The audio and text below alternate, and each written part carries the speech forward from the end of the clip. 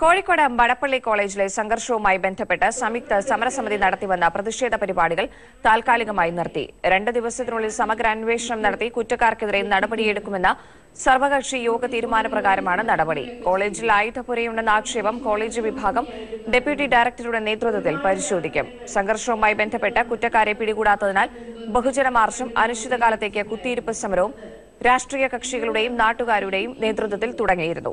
ജില്ലാ കളക്ടറുടെ അഭ്യർത്ഥനയെ തുടർന്നാണ് പ്രതിഷേധം താൽക്കാലികമായി നിർത്തുന്നതെന്നും നടപടി വൈകിയാൽ പ്രക്ഷോഭം തുടങ്ങുമെന്നും കുറ്റ്യാടി എം എൽ എ പാർക്കിൽ അബ്ദുള്ള അറിയിച്ചു. അന്വേഷിച്ച് വേണ്ട നടപടി സ്വീകരിക്കുമെന്ന് പറഞ്ഞത് കൊണ്ട് ഇതിനെ ഞങ്ങൾ മുഖവിലക്കെടുക്കുക ഒരു ഇതുമില്ല. കലക്ടറാണ് സംസാരിക്കുന്നത്. ഈ പെൺകുട്ടികളെ മർദ്ദിച്ച അവരെ ക്രൂരമായി നടുറോട്ടിൽ പിന്നെ കൈകാര്യം ചെയ്ത ആളുകളെ കൽത്തുറുങ്കിലടക്കാൻ. എല്ലാ ശക്തമായ നിലപാട് സ്വീകരിക്കും. അതിലൊരു സംശയവുമില്ല.